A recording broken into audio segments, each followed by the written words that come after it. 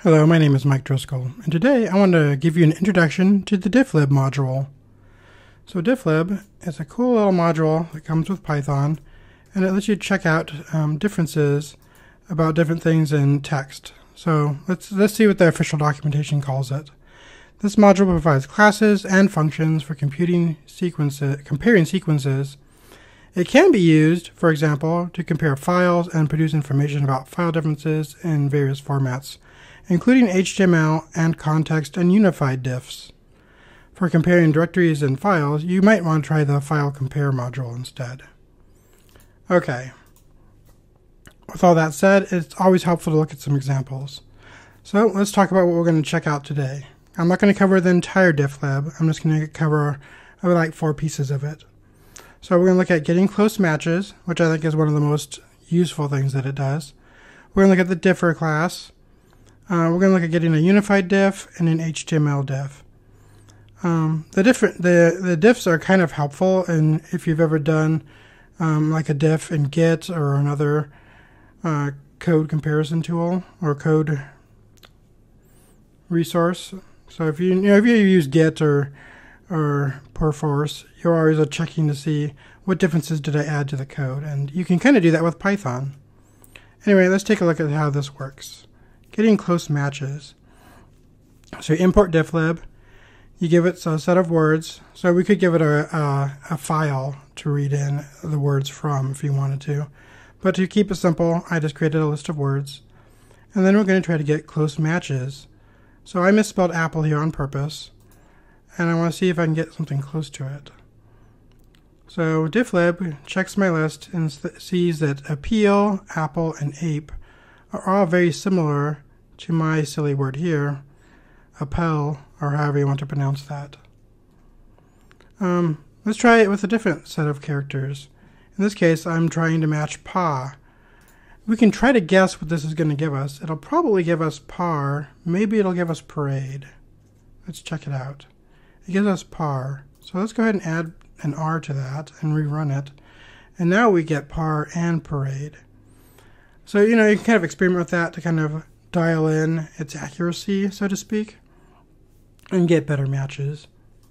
I think this is kind of a cool way to do this. Um, I could see this being used as a really simple spell check tool. Um, so, you know, it gives you some options in your code. Let's try using the, the differ class. This is a class for comparing sequences of lines of text and producing human readable differences or deltas. So in this case, we're going to import um, differ, and we're going to use it to compare these two strings. And these are two multi-line strings. Let's see, you can study the strings yourself before running this code and see if you can spot the differences, and then compare it to what the differ class gives you as output. I'll just give you a minute to check it out. Alright, not really a full minute, but you get the idea. Let's try running this code and see what kind of output we get. Alright, so notice that there's a period at the end of the second string, or the first line in the second string. So it marks that with a plus. And then, in the second string, it notices that we have the word programming, and there's also a space at the end. There's no space after Python up here in the first string. So it marks all of that with a bunch of plus symbols too. So all of these are different. Nice way to tell the difference between, you know, a couple of different pieces of text. Let's try unified diff. A unified diff is probably something you'd be more familiar with if you've used um, like CVS or SVN, and Git does a unified diff of sorts as well. It's kind of hard to explain if you haven't seen it before.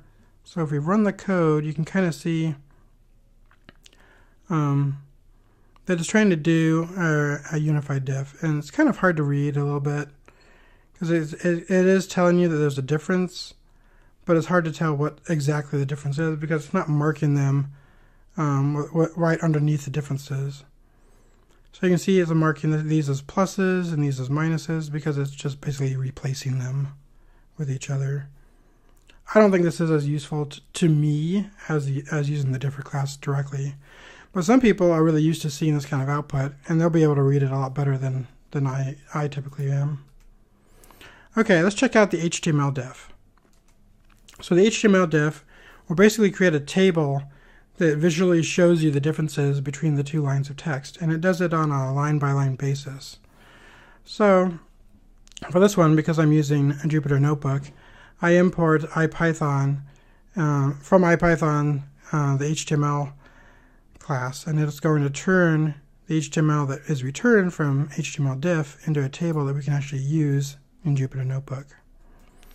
So when we run this, you can see that it's just kind of comparing the two. And it may be obvious to you if you've done a lot of comparison in, with your own eyes with you know code what the differences are. But you know, to me, I immediately see that programming, you know, this line is longer, and I'm still spotting the period, probably because I've seen, I've done this example several times.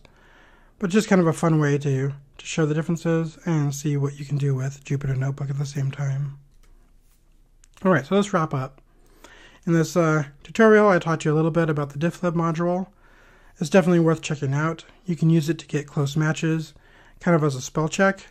You can use differ to find differences between um, uh, files or strings. And then, of course, you have different different kinds of outputs: unified diff, HTML diff, and there's other diffs that are included in the difflib. If you go look at the difflib module, like context diff, which I didn't cover here, for example. So definitely check it out. It's a really neat module, and I hope you'll enjoy it. Also, I wanted to thank you for watching, and I hope you'll tune in next time.